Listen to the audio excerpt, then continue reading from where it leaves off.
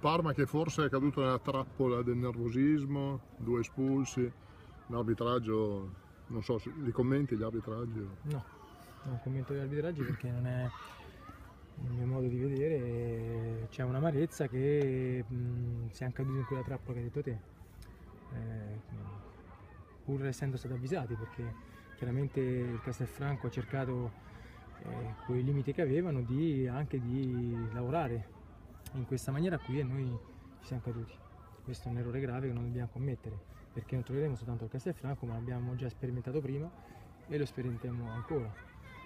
Eh, a parte questo però la squadra ha espresso, ha espresso gioco, secondo, anche e soprattutto nella seconda parte, abbiamo cercato più volte il gol, non ci siamo arresi, anche pur in, in 9 volevamo attaccare. Eh, questa generosità mi fa molto piacere, è chiaro che, che c'è l'amarezza, ripeto,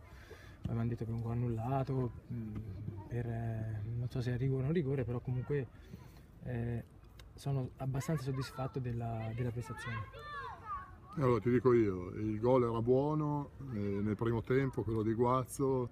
molti dubbi, vabbè, l'infortunio di Longobardi probabilmente meritava più di una punizione.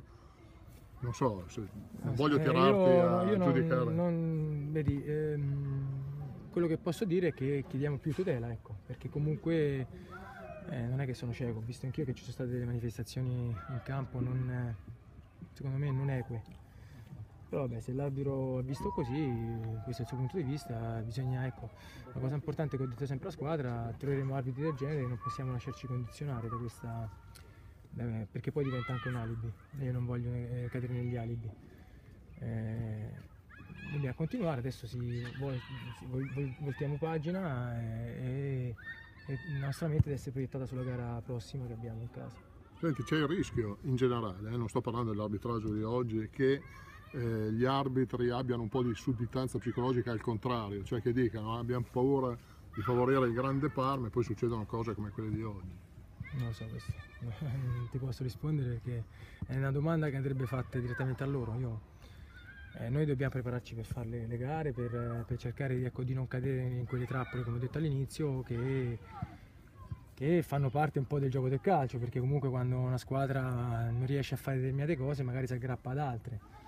Eh, io ripeto, ehm, la prestazione c'è stata, l'impegno anche, anche se nella prima parte non si è riusciti a sviluppare bene alcune giocate, nella seconda parte molto molto meglio, volevamo vincere e abbiamo provato a vincerla, purtroppo non ci siamo riusciti. Hai scelto, tra virgolette, l'esperienza a centrocampo e non in attacco come forse si pensava. Ma eh, in base all'allenamento di ieri ho visto alcune cose che ho preferito mh, mettere delle certezze che eh, dei dubbi, avevo qualche dubbio, quindi ho preferito tornare nelle certezze, anche se comunque mh, io non è che chiudo le porte a nessuno, nel senso che eh, ho dei giocatori bravi eh, che se entrano io uso dei parametri per valutare ehm, chi gioca e chi non gioca, eh, dall'impegno chiaramente a quello che danno in campo, a come si adattano al gioco che, che chiedo io,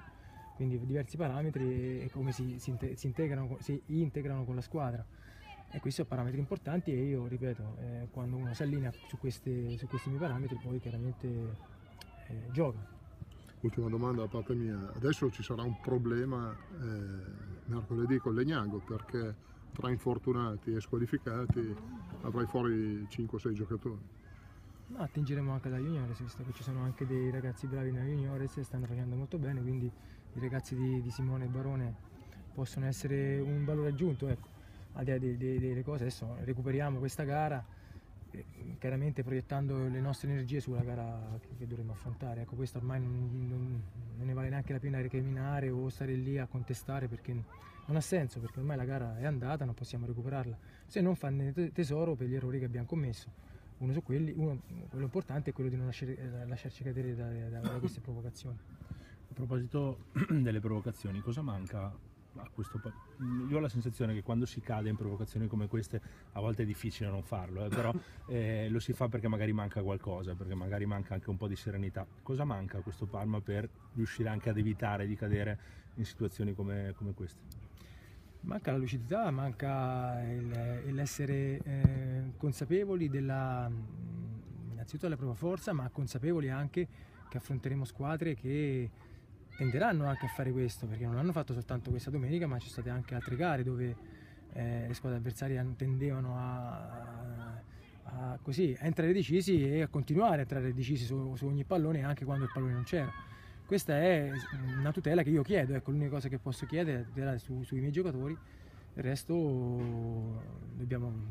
gli arbitri faranno la loro parte e noi dobbiamo fare la nostra. A proposito di tutela dei, dei, nostri giocatori, come sta Corabri che ha preso credo una quantità di calcioni durante la gara eh, incredibile? Ma era molto arrabbiato, quindi bene, penso bene, era molto arrabbiato perché chiaramente arrabbiato perché non abbiamo vinto, questo è una... Mm, così, è, è un punto importante perché mi fa piacere il fatto che oggi entrato nello spogliatoio c'era un'amarezza, un'arrabbiatura proprio perché non abbiamo vinto. Eh, quella degli arbitri non dobbiamo permetterci di, di caderci nel, né negli argomenti perché io negli allenamenti che, mm, che, faccio a volte non fischio punizione apposta proprio abituarli perché so che, che capiterà come è capitato oggi che troviamo delle cose che non, che, non, non, vanno bene che magari sono evidenti, sono lampanti e ci sentiamo eh, non, non c'è giustizia però chiaramente questo fa parte del ruolo perché comandano loro e dobbiamo essere bravi a non cadere in queste a non perdere energie che non, che non ci servono. Finché eh, abbiamo contenuto le nostre energie, le abbiamo sviluppate per il gioco, abbiamo fatto bene. Poi siamo caduti in questa, purtroppo in questa situazione qui e, e, e abbiamo calato, abbiamo calato concentrazione eh, e siamo caduti nella, nella loro trappola. Si può pensare che questa gara rovini un po' i piani, non dico tattici, però insomma da qualche, da qualche tempo a questa parte stai provando molto le due punte un po' più pesanti, quindi magari Guazzo e Musetti, in questo caso Musetti e Longobardi, poi è entrato Guazzo al posto di Longobardi, ora Longobardi infortunato, Guazzo espulso, per carità si può provare anche altri giocatori come prime punte, però diciamo che è un po' anche uno stop in, questo, in questa sorta di trasformazione che magari stavi cercando di dare a, alla squadra. Ma è in base alle gare che vedo, in base alle squadre che affrontiamo, è chiaro che ci sono giocatori più adatti a certi tipi di partite. Infatti oggi io penso che sia Longobardi che era adatto come lo stesso Guazzo che per me ha fatto una buona gara, purtroppo ha sbagliato, ha sbagliato appieno a, a, a cadere nella provocazione. Però queste sono alternative che proverò sicuramente, come proverò altre, altre alternative perché la squadra comunque anche senza forza fisica ha, ha giocato e ha anche fatto vedere alcune, alcune giocate positive. Ecco. Grazie.